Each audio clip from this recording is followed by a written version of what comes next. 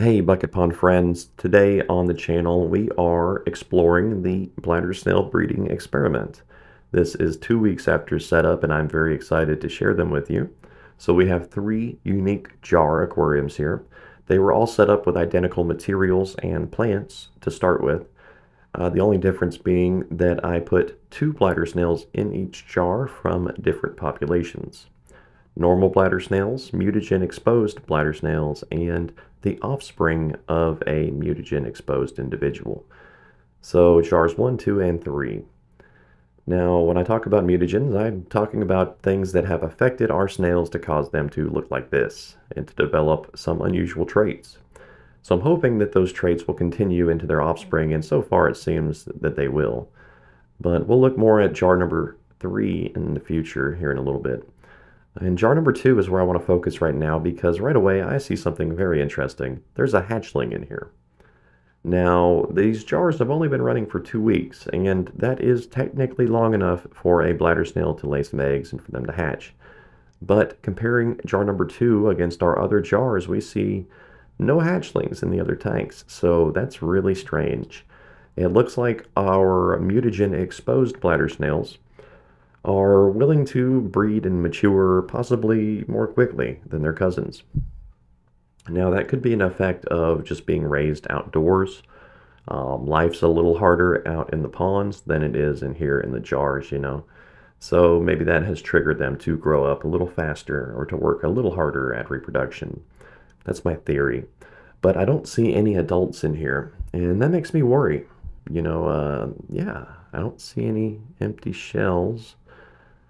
I just don't see them. Now, this tank is very cloudy, and that's unusual because all three jars were started with the exact same material.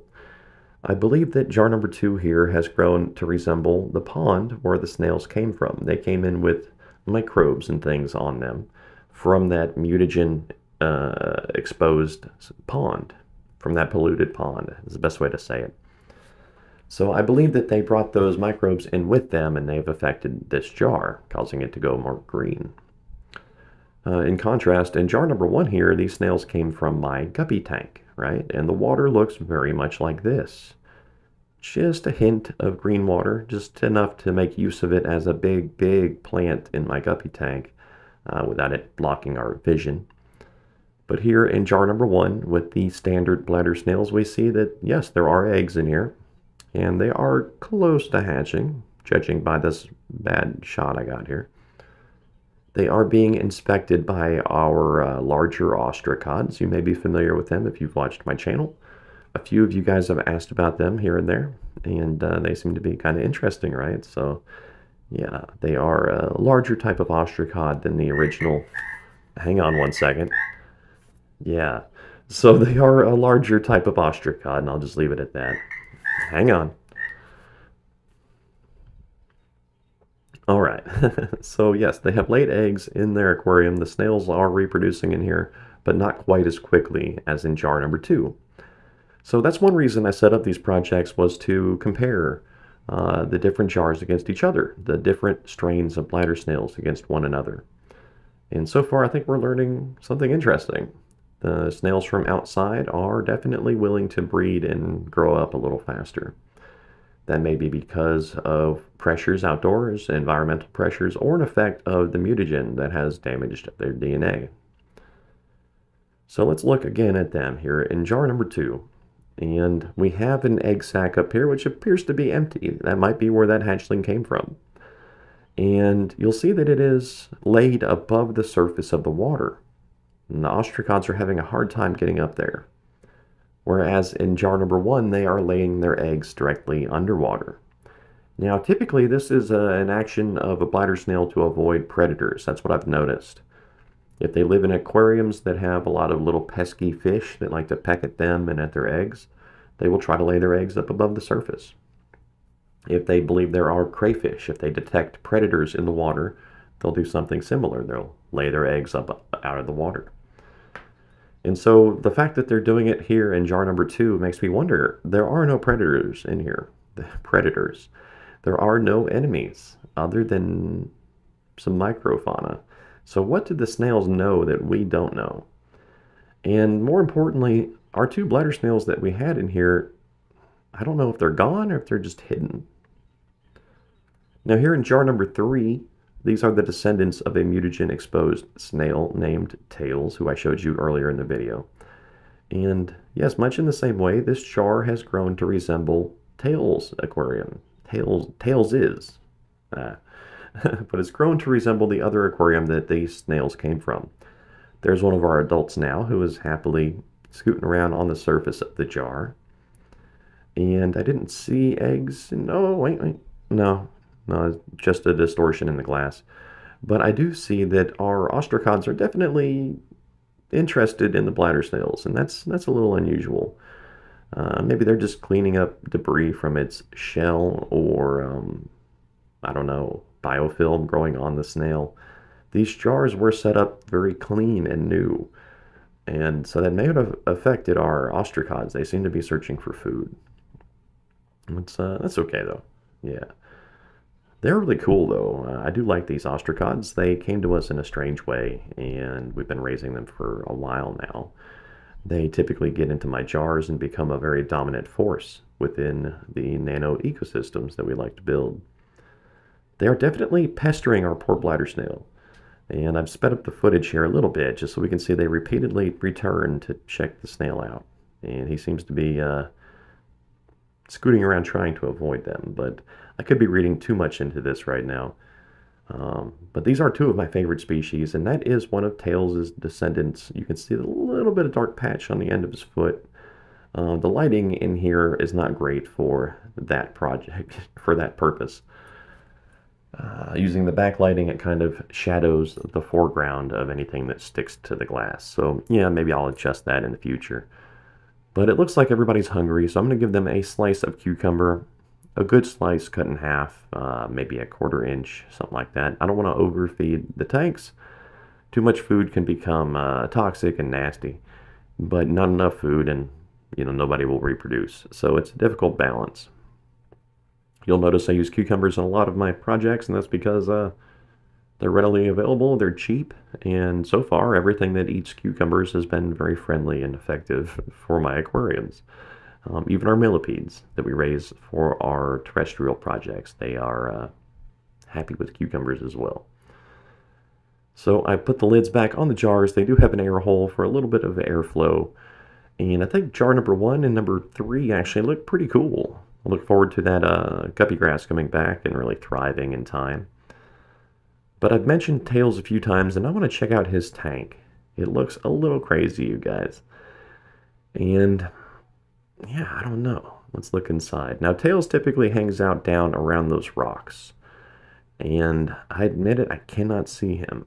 But I see one of his children right there.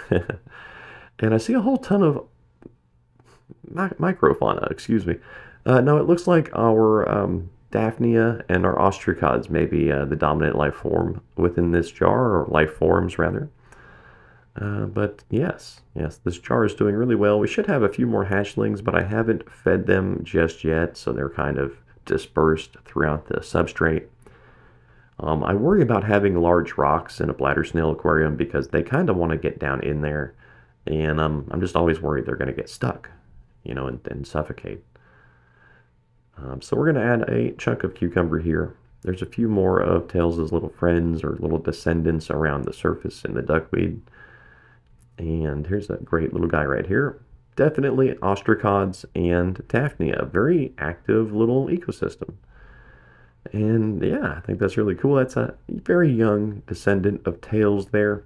Very, very young, very small. And I think that's great. You know, I love seeing our little baby bladder snails and all of our little friends here uh, cooperating. Their aquarium is very clear and um, it's not bad looking. I think it's pretty interesting. Uh, you know, I've given up trying to make those beautiful, like, gallery, uh, amazing aquariums because, uh, one, I just don't have that kind of budget, and two, I just don't have that kind of time to run maintenance. But these natural, unusual tanks that we build here on the channel, something about it. You know, you don't have to spend a bunch, you don't have to uh, spend all day working on this particular jar.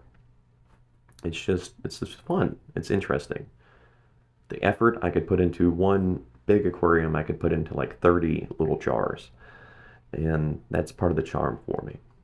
Though I do maintain, um, well, one large aquarium right now. Um, you know, there's there's a charm, there's a, a fun aspect in there as well. So, you know, whether you do terrariums or traditional fish tanks or any of that kind of stuff, you know, I think that we can all find common ground and admit that we all think uh, that building ecosystems in uh, creative ways is fun and interesting. So right now I'm just taking a few samples from Tails Aquarium. I'm trying to bring some of that beneficial bacteria and uh, the Daphnia specifically into these other jars. I want to uh, encourage, you know, the clarity that we see in Tails' tank. And there's both of our uh, adults there in jar number three and I still haven't seen any adults in jar number two. Now it is cloudy, so who's to say? But bladder snails can be more elusive than you might think. Anyway, guys, here I am after doing some maintenance on another project, and we've been letting the snails come up to the surface. I was hoping we'd see more adults in number two, like we have in number three here, uh, but that's okay. There's at least a couple hatchlings in there, and I want to show you guys this. You may remember that I captured a weird grass plant recently from a ditch. And I was like, oh, I better get this out of this jar before it dies, you know. Check it out. Oh my God. Check it out. What is this? Like bulrush? I don't know. I'm going to figure that out. But it is amazing. And I think that I could grow this in a jar. Definitely in the pool ponds. So yeah, just a little quick update on that. But yeah, guys, thank you so much. Um, I hope that this video was not too hard to follow. Uh, we have some unusual developments. It seems as though our mutant snails reproduce more quickly. Um, it seems as though they might be a bit more fragile as well, as I believe they have died in number two and left their offspring to take their place. Um, we're hoping for the best. I'll be back with another video about these guys soon, but so far we have seen at least one slight difference in that our new snails want to breed a little bit more quickly. And uh, that may be useful. Hopefully that is a genetic trait. If we see that continuing throughout their offspring, then we'll know that, uh, hey, we have more aggressive, more dominant bladder snails who breed more quickly. That's awesome. Might be useful as well.